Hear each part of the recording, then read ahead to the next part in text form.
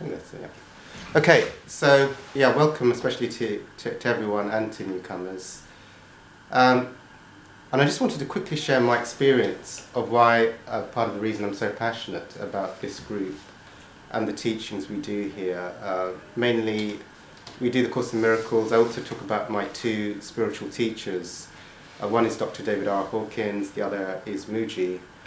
Um, and I had a white light spiritual experience with Mooji, who's a classical teacher of enlightenment and non duality and self inquiry, and Dr. Hawkins, who's also a teacher of enlightenment. But he, for people who are interested in 12 step fellowships, uh, he was an alcoholic, and when he went into AA, his sponsor was Bill Wilson, but he went on to become an enlightened teacher in his own right. Um, and uh, the thing with the cancelling of beliefs, which originates from the Course in Miracles, lesson 14 of A Course in Miracles. So here we go into, now, I'm not, um, okay, so le- lesson 14 of A Course in Miracles states a few things. One of them is that God did not create cancer, and so it is not real. And another way of saying that is, uh, which uh, I got from Hawkins, is I cancel my belief in cancer. I'm an infinite being subject only to what I hold in mind. Now, here's the thing, because uh, a lot of people are new here. Um, when I uh, I was in active food addiction, I had several addictions, and also I had. This is the power. I just want to uh, share the power of doing spiritual work. I had kidney failure, I had gout and asthma, and I used the spiritual work, and all of those illnesses left. Hawkins, as well, did the Course in Miracles, and he had 23 illnesses leave him uh, through doing the work. He also set up, um, he set up uh, a group in America for people with grave illnesses, illnesses like cancer, myasthenia gravis, AIDS. In that group, people, you know, people's illnesses also left. So when I when um, also I had a spiritual experience when someone gave me a DVD of Hawkins, so I knew he was telling the truth, and all my illnesses left. And so get, getting into the mystical nature of letting go of belief systems and the power they have on manifesting things uh, is, is, extraordinary. It does take um, it does take a huge shift, and I'm not against you know. Um, people using whatever works for them. But my experience is, you know, the, the spiritual stuff can be immensely powerful. Also, um, so it's whatever whatever belief um, is held, and beliefs can be with illnesses. They can be around people. Uh, they can be around anything. They can be around relationships. Uh, so you just can't cancel them, and they can. Uh, it's very very powerful in releasing stuff. The other thing is um, beliefs can have belief systems. So when you cancel things, you want to also uh, you might have symptoms you can cancel. Uh, you might have different aspects of the illness. You can also cancel those as well. They can also you can also cancel scientific belief systems as well. Um, you, you could um, so um, like uh, I had gout. So scientifically, they'd say you know you have high uric acid levels that precede a gout attack, so you could cancel. Um, I remember um, when I met, went and met Hawkins, he had had gout and he'd cancelled his belief in gout. I think he would say something like you can also cancel your belief in high uric acid levels, and his uric acid levels return to normal. You see, so you just you just cancel the belief systems that you've taken on board. So I've seen it. I've seen it work uh, with a lot of things. In terms of, so that's the thing with cancellation of beliefs. How did how does it work? Well, when I had um, when I had my white light spiritual experience uh, with Mooji, who asked me what what is what is it that is observing my thoughts, and I had the, the white light spiritual. So it's like as you let go of identification with thoughts you can connect with a field of immense light and power. And then you sort of see that how the belief systems, as you hold on to, what's the difference between a thought and a belief system? Well, a belief system is something that's held on with strong identification. When it's held on with strong identification, it's like a repeating thought. Like if I have a thought, the grass is green, I haven't got a belief system. It's not a thought that's like so entrenched within my ego that it's there. But if I have a belief system like um, asthma, you know, and I have the associated belief systems of how an asthma attack is triggered, then um, you know you, I, you can cancel that. And once it's cancelled, there's a few aspects to it, but then you know it, it disappears. How long did it take? You know, some of these that have manifested, they take a long time, a lot of spiritual work, but they do release. Also, doing the other lessons in the Course in Miracles releases them. So I saw then that, you know, it's just like if there's the infinite light, you know, um, the infinite light that you can connect to when you're not in your ego, as soon as you hold these thoughts as a belief system within the ego, then they have immense power to just manifest. What, you know, and why they sort of mani manifest, for me actually, it's talked about in the Course in Miracles, and, and generally understood. When one is holding a lot of guilt uh, or shame or fear or, or, or, resentment or anger, they, they it's kind of like a negative charge. So it's like it's looking for something that represents that negativity from the collective belief systems. So if you hold a lot of negativity, you usually pick up a pretty severe, you pretty, pick up pretty severe illnesses. As you start releasing that guilt and shame, you, you probably might pick up milder reflections of that, and you tend to, to release them uh, as you go off uh, and release them more.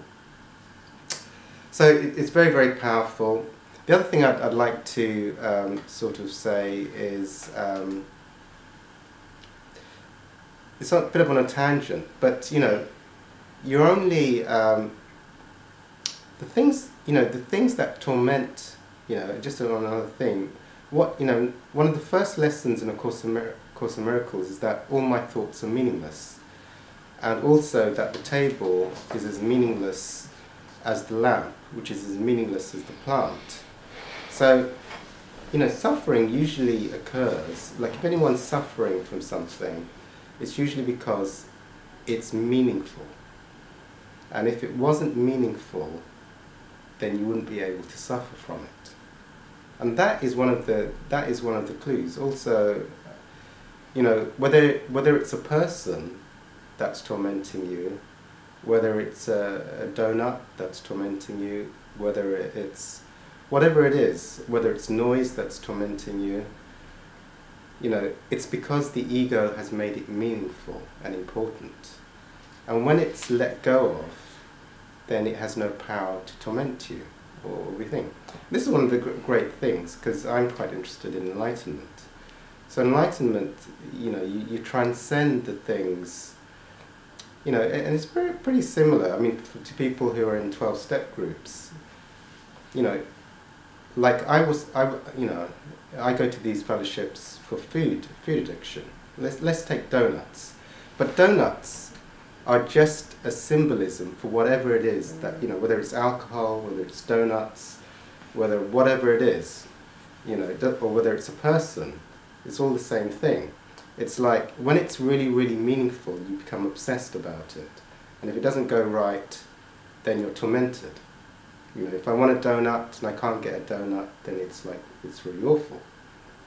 Or, uh, but, you know, like in, in, the, in, in the big book, it talks about, you know, being placed in a position of neutrality around it.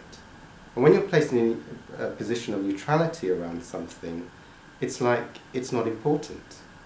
You know, you can walk past it and not even notice it sometimes, or notice it. And that's the thing when you've got a really good spiritual connection and you've transcended something, you see. Because once um, everyone, and here's the thing, everyone who, nearly everyone has had days when they've been really spiritually connected. And when you've been really spiritually connected, the whole day has been blissful and every moment has been exquisite. You know, and it's not about an external thing being there or not being there. It's like there's a timeless flow throughout the day, and that's what it's like when the ego is not active. It's not sort of hooking in to uh, this, that, or the other. So the thing with um, here's the thing: like if some if if the ego really really wants something and is really really obsessed by something, it's like the idea of not being obsessed or it being meaningful is like really tormenting. It's like if I was obsessed with donuts, the idea of not being obsessed with donuts might seem quite like deprivation initially. But actually having that freedom from my whole life being run by donuts is actually freedom. You, only, you can only experience that on the other side, you see. It's not that, you know, you, you don't have to, you know, and the thing is like, it's, here's the thing, it's like when you're in a low level of consciousness, whenever you're obsessed with something, you get a hit from it. So it's like you're at this level, you're at this level of consciousness, which you're feeling not so good, and then you're obsessed by something. Um, Mooji talks about it. It's like when you're obsessed with something, and you or you want something, is you've got an activated thought vibrating in the back of your ego, wanting it all the time. So really, you're not happy because you haven't got it. And when you get it, that ego inflation stops and then you get a high. You get a high from getting the thing you're after. And then you get the thing and you're happy for a while, but usually the ego starts up again and wants something different. But when you're in a strong, when you're, when you're spiritually connected, you're at the highest level of spiritual happiness. I know there's one person in this room um, who's been in those states for, for a significant period of time. And it's like every day is blissful every moment is wonderful. And, and you don't really get addicted by things in the world, thank you, because you can't, because you're already happy. Hello? Here's the thing, once you're spiritually connected, you are happy through the whole day. So if you're happy through the whole day, you're in those timeless flows. If someone comes up to you and says, like, there's donuts, free donuts across London, you know, there's free donuts across London, but you have to get there before 4 p.m. or you're going to miss out. You would just ignore them, you know. Mm. Now, if you're obsessed with donuts and you're like in this deprived state, and someone says there's free donuts across London, you drop everything and run across London to get those donuts. So that's the difference. When you let go of the things you're obsessed about or the things you want to control, uh, and you surrender it all to God, you're happy and um, and when you're when you're obsessed by things or you want to change and control the world, you're you're in a state of unhappiness. Right, and when you get the thing yeah. you want, you become happy. But then you can become addicted to keep getting that thing. Anyway, I'll stop it there.